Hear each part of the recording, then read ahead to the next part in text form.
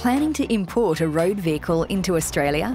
Or supply a vehicle already here to the Australian market for the first time?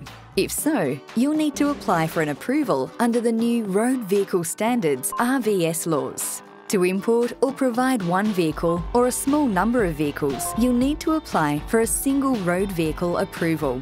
For example, you'll need this approval if you're a car enthusiast looking to import a specialist vehicle or an older car. You want to bring your vehicle with you when you move to Australia.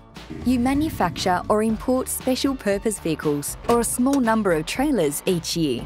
You'll also need a single road vehicle approval to import a road vehicle, even if you don't intend to use it on public roads. For example, exhibition, race, or test vehicles.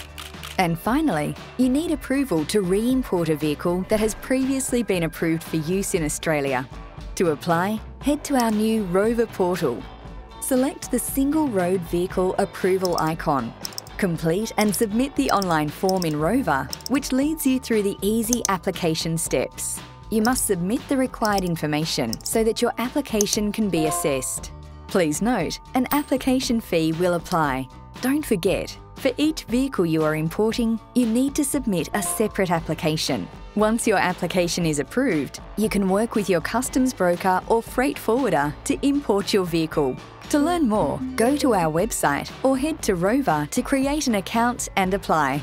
Road Vehicle Standards, keeping Australians safe on our roads.